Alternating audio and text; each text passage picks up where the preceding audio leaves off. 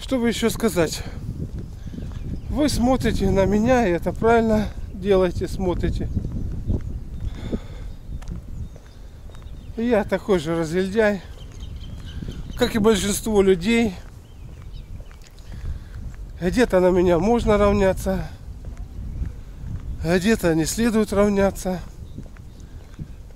А как бы человек не был там плох и хорош, вот взять от него то, что вам полезно. Вот это самое главное, я считаю. Вот это самое главное. Вообще жизнь человека как своего рода эксперимент на разного рода уровнях. Профессиональном, семейном, духовном, уровне здоровья и прочее, прочее, прочее. Вот что касается герпеса. Ну, а до герпеса там куча. То есть, если так вот подходить к возникновению заболеваний, оно на- начинается в далеком детстве. Ну, допустим, стоматит в начале. Там, у ребенка. В частности, у меня был стоматит. Довольно-таки это долго. Потом были фурункулы. Вроде как-то там затихло, прошло. Не появлялось. Потом герпес на губах. И так, и сяк там лечили. Все это там такое было. Губы трескали здесь. Тоже указание.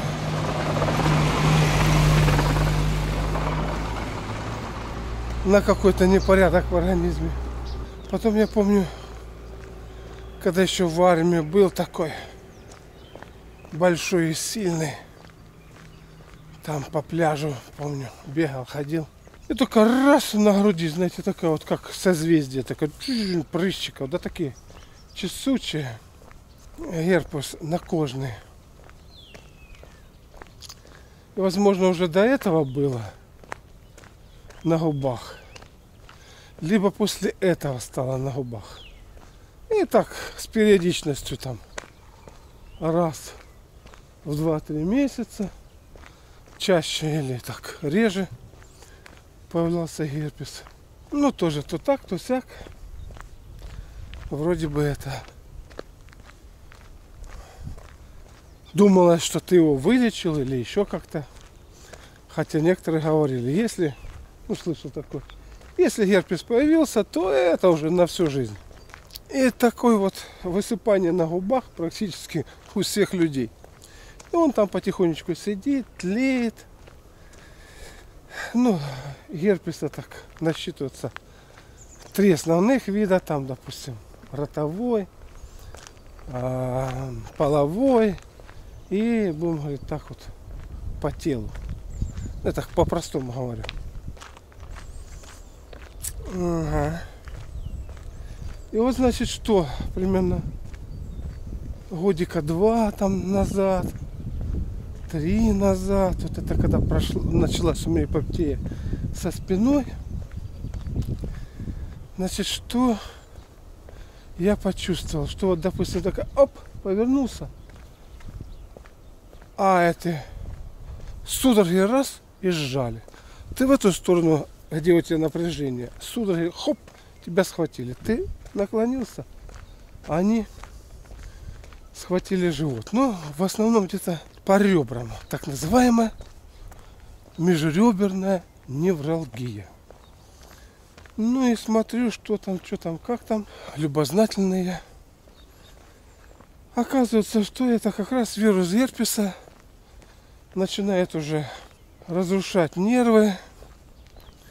И, естественно, нервы перестают нормально передавать импульсы на сокращение расслабления. И возникают спазмы. Ну, естественно, спазмы где там и спина, это эпопея, и, и многие другие там вещи. То есть ну, просто стало неприятно. Там э, надеваешь обувь, напрягся, она там тебя схватила, там еще как-нибудь прогнулся, схватила. Ну, то есть уже вирус герпеса начал тебя точить твою нервную систему, чтобы потом какую-нибудь так, типа заболевания там, дрожание конечностей вызвать, отсутствие памяти. То есть потихоньку, не спеша. И вроде это считается старческое. Я думаю, старческое это считается потому, что оно развивается. То есть для того, чтобы оно развилось, необходимо время. Время довольно-таки продолжительное.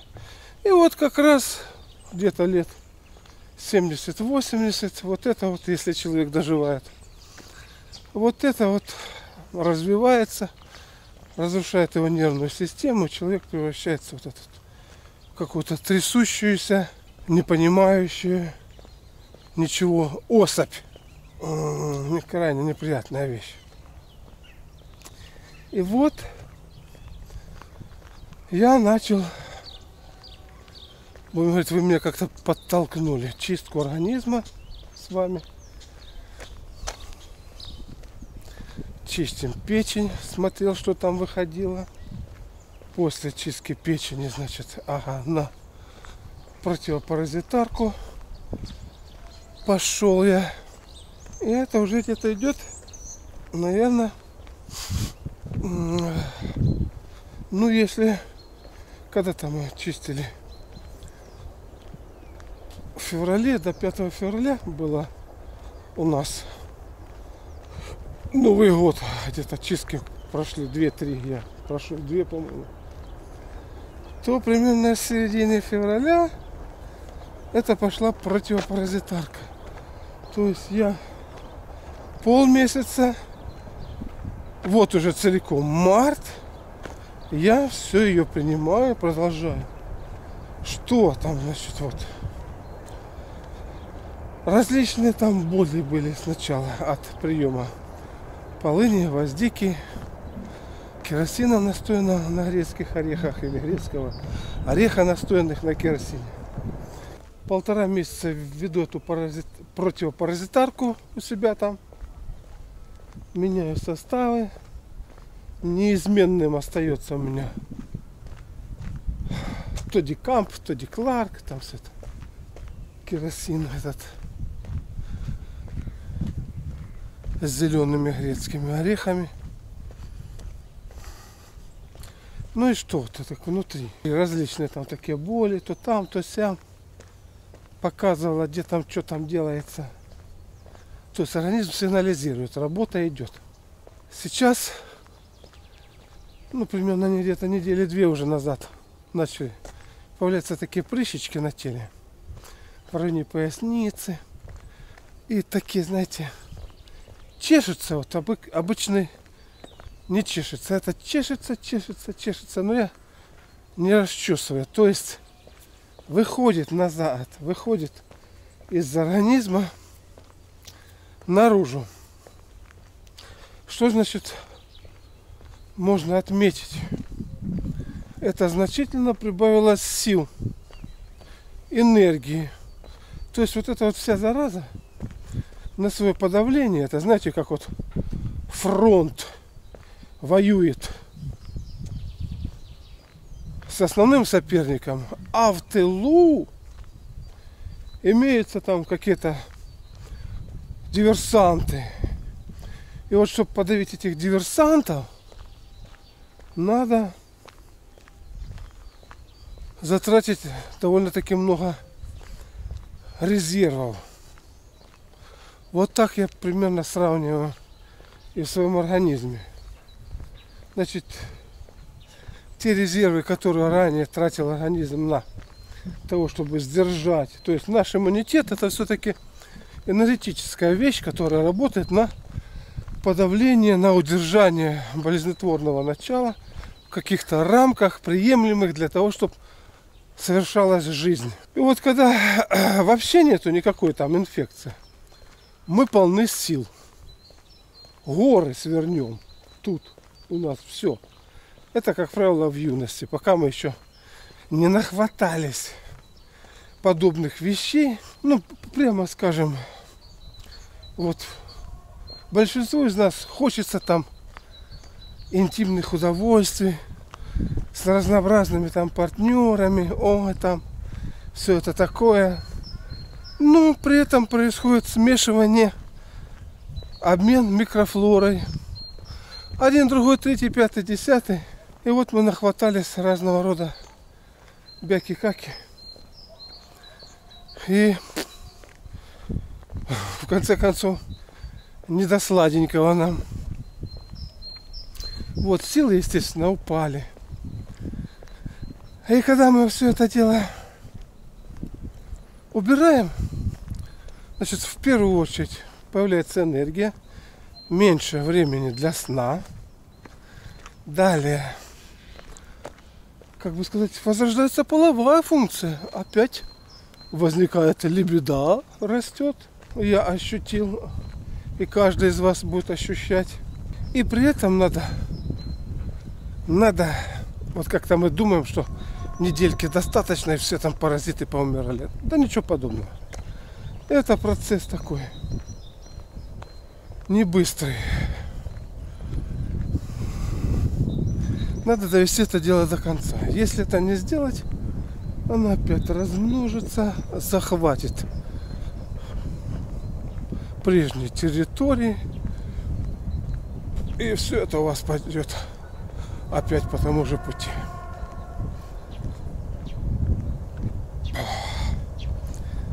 Вот, поэтому важно подобрать такие, такие препараты, такие дозировки, которые можно было бы применять длительно, без ущерба для здоровья. И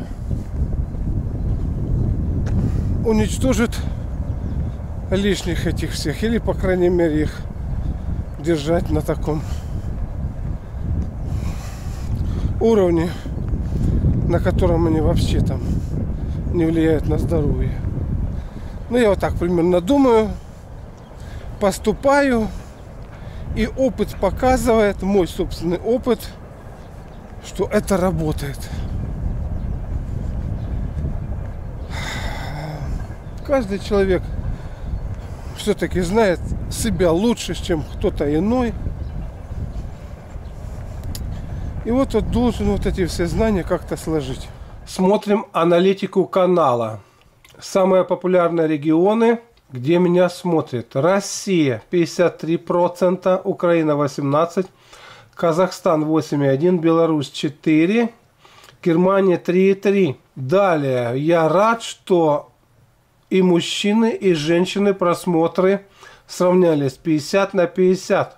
Раньше где-то женщин было процентов 25. То есть я очень вам благодарен за то, что вы меня смотрите, за то, что вы меня поддерживаете, интересуетесь. И, естественно, я со своей стороны также буду откликаться на ваши запросы, рассказывать о себе, потому что моя жизнь, моя борьба, это примерно будет то, что с чем сталкивается каждый человек.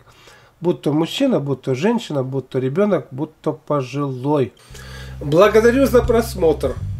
Если вам понравилось видео, ставьте лайк, звоните в колокольчик и подпишитесь на канал.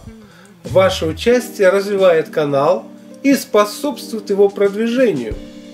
Вы можете посетить бесплатно мою авторскую библиотеку на сайте Малахов Про. Доброго здоровья и до новых встреч!